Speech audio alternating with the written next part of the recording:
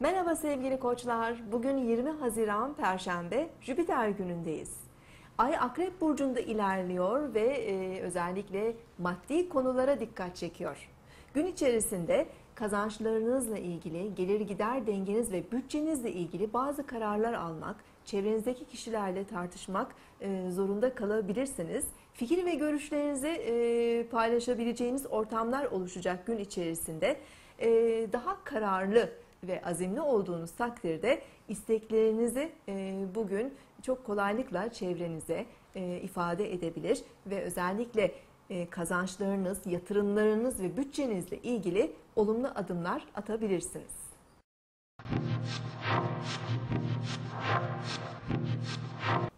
Burcunuzu dinlediniz.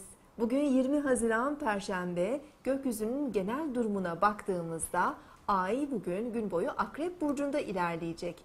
Duygularımızı ve sezgilerimizi güçlendirecek.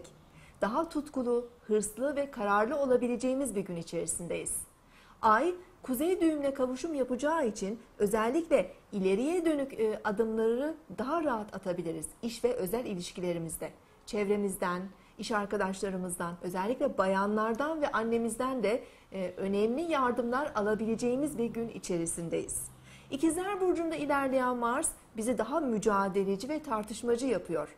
Güneş ve Jüpiter kavuşumunun olumlu etkilerini bugün de hissetmeye devam edeceğiz. Özellikle hava grubu burçlar, ikizler, terazi ve kova burçları iş ve özel ilişkilerindeki girişimlerinde şanslı etkileri bugün de hissedebilirler.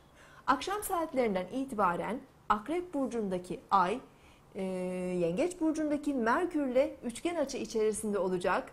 E, bu durum ilişkilerimizde ve iletişimlerimizde çok yararlı olacaktır. Duygularımızı ve isteklerimizi e, çok kolay dile getirebiliriz. Kendimizi daha rahat ifade edebiliriz. Aile ilişkilerimiz, yakın ilişkilerimiz güçlenebilir. Onlarla daha iyi iletişimler kurabiliriz. Özellikle su grubu burçları, yengeç, akrep ve balık burçları bu etkiyi daha fazla hissedebilirler.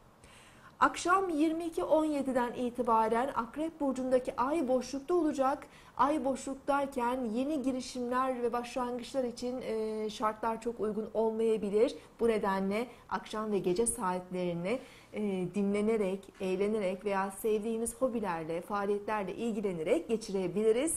Ay yarın sabah 11.31'de Yay burcuna geçecek. Daha dışa dönük, iyimser ve neşeli enerjiler vermeye başlayacak. Yarın görüşmek üzere. Hoşçakalın.